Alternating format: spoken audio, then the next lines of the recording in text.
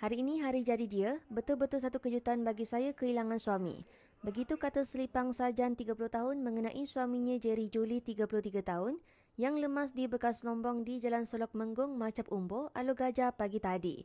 Mangsa yang juga pekerja kontrak ditemukan di dasar lombong berkeluasan 0.4 hektar itu oleh pasukan penyelamat di air dari Balai Bomba dan Penyelamat Alu Gajah pada jam 9.17 minit pagi selepas dilaporkan hilang sekitar jam 5 petang Isnin.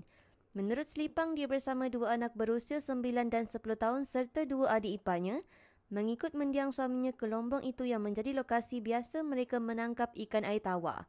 Katanya petang ketika kejadian selepas siap memasang jaring, dia melihat suaminya seperti hendak naik ke darat sebelum melompat dan menyelam. Namun katanya selepas beberapa minit suaminya tidak muncul, menyebabkan mereka pelik dan berusaha mencarinya dan menghubungi talian kecemasan untuk bantuan. Sementara itu, Ketua Polis Daerah Alu Gajah, Superintendent Arsyad Abu yang mengesahkan kejadian berkata, kes diklasifikasikan sebagai mati mengejut. Dua, dua tiga hari ni dalam seminggu dua minggu dia ada berubah perangai sikit. Sebab apa? Kampung dia di Johor baru sana banjir dilanda banjir. Sebab itulah perangai dia kira macam dia murung diam jarang bercakap Okey.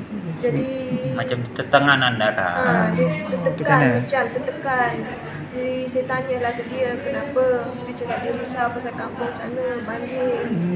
Lepas tu saya cakap jangan fikir sangat benda nak jadi Mm-mm. dah jadi macam mana kita nak buat? Nak boleh buat apa lagi? Jadi dia teruslah pergi kerja macam biasa. Sama juga balik pun dia diam tak macam selalu. Dia macam muka dia macam sedih Macam ada sedih. berubah